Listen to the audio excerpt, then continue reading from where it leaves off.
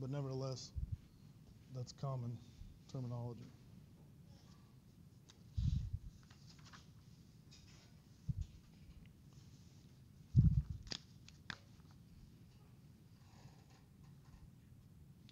So now we're going to focus on the overall mass balance or the pressure equation, and we're going to implement our finite difference approximations. Okay. We're going to use an implicit method, so we're going to use a central difference in space, uh, or I'm sorry, if, we're going to use a forward different forward difference in space and a impl uh, implicit forward difference in time. Okay, so meaning we're going to evaluate the time of the pressures. Again, this is the pressure equation. So we're going to evaluate the time of the pressures at the n plus one time step. Okay. So we'll sort of do this just looking at the individual terms. Uh, if we look at this term first,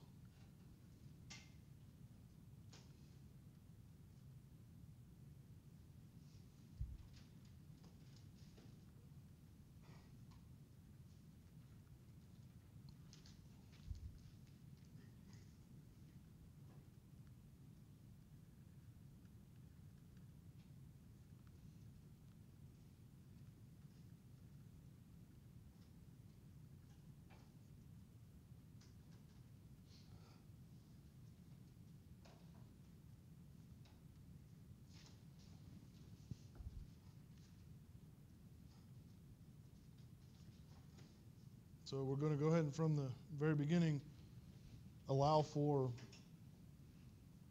uh, heterogeneous permeabilities across i and i plus 1. And I've defined, that, used this lambda, which is the mobility ratio, which I'll define in a second.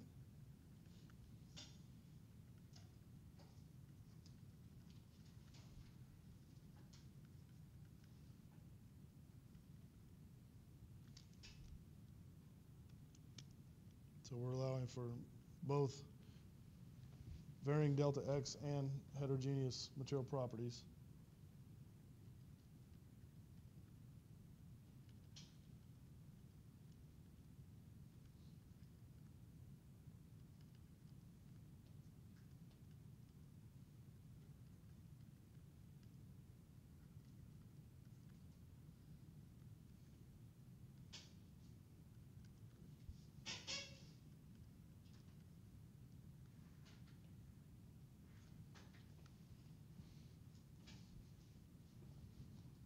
And then we'll look at this term, similar.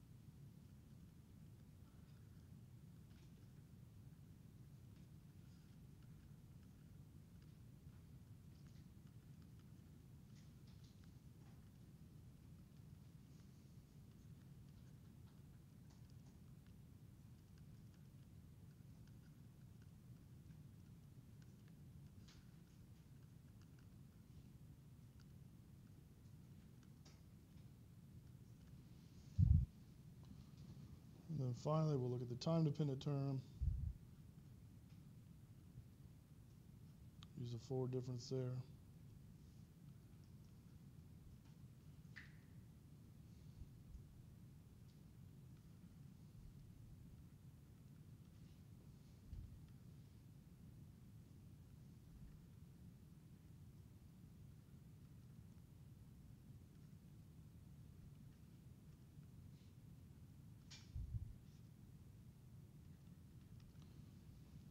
I think I might have misleading when I said we're going to use a forward difference in space. We're actually, you can think of the, I mean, really using the central difference for the second derivative, right? So it's sort of like two forward differences. There's this one and this one, and then there's the forward difference of the derivatives themselves. So it's really the centered, central difference in space on the second derivative, forward difference in time on the first time derivative. And then, like I said, we, we define this mobility ratio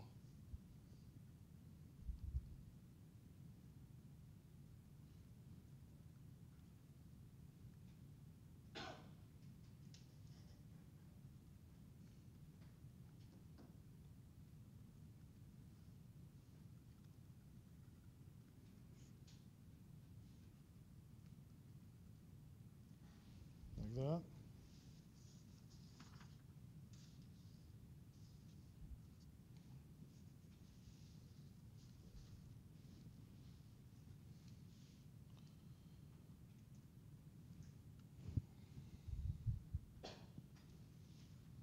So putting it together,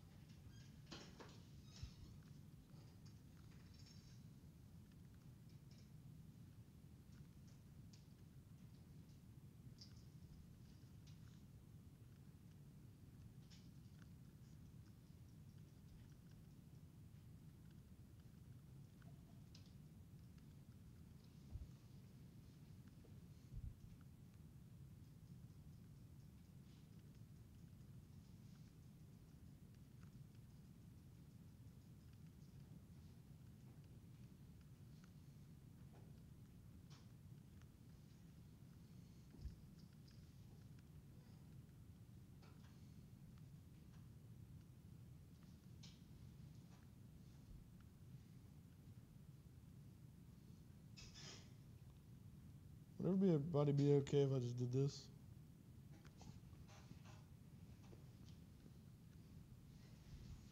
Save our hands a little bit.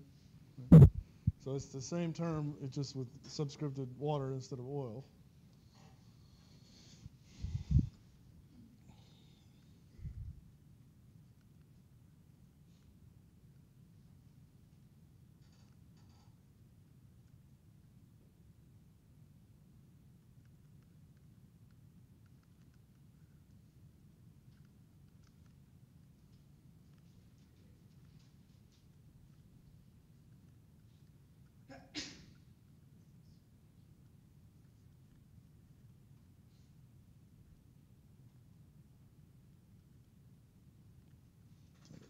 To squeeze that in, but anyway.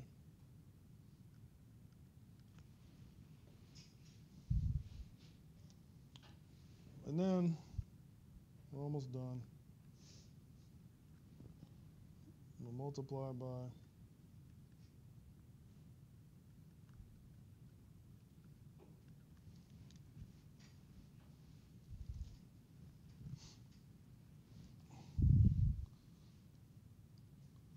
lump some terms.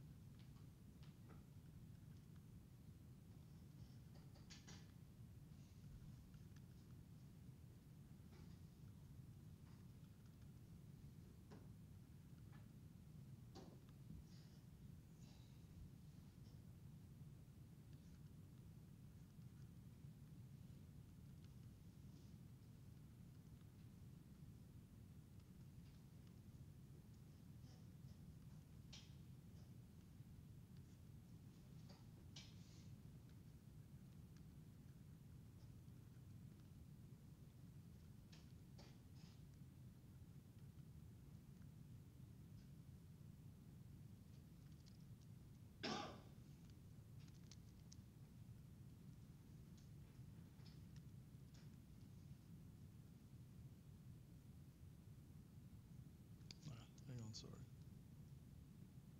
Oil, water, oil.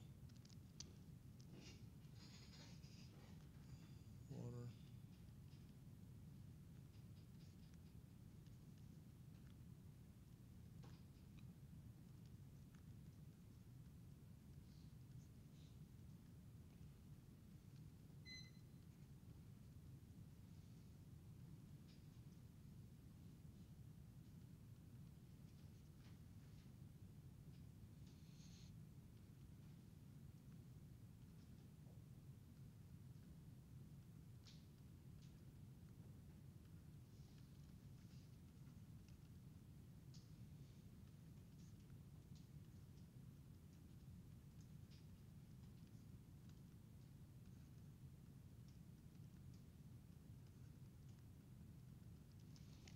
So now things are starting to look familiar.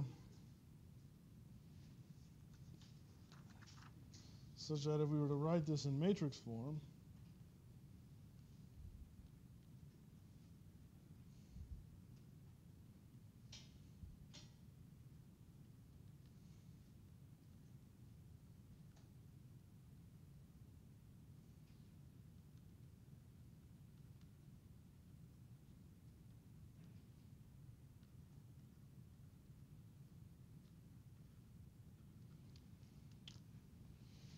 we'd have this.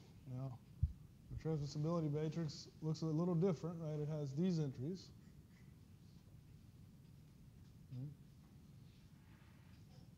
It has these entries. The B matrix is, is essentially the same. The Q matrix is a little bit different.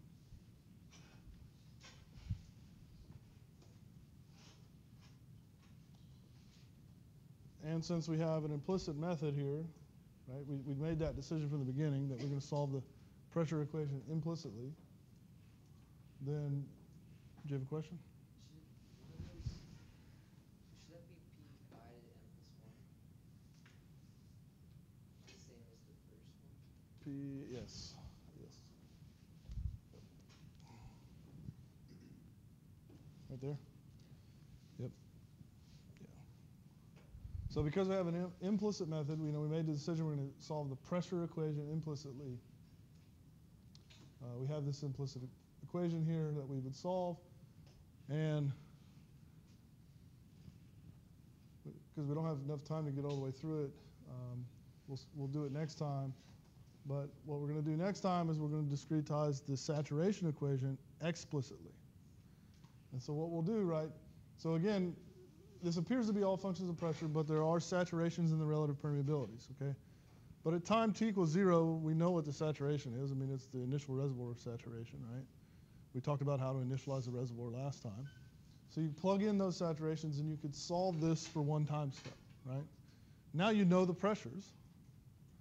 And so you can put those pressures into the saturation equation and you update the saturations explicitly.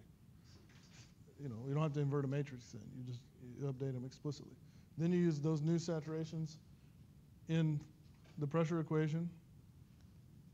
Take another step, do it again, do it again. So, so it's implicit pressure, explicit saturation. And we haven't written down the saturation equation. We'll do that next time. But implicit pressure, so implicit pressure explicit saturation, IMPES. That's what we call this, this method. And this is very common in reservoir simulators. This is, this is probably the most common way to solve these equations, IMPES. It's not without flaws. Uh, we'll talk about some of those next time.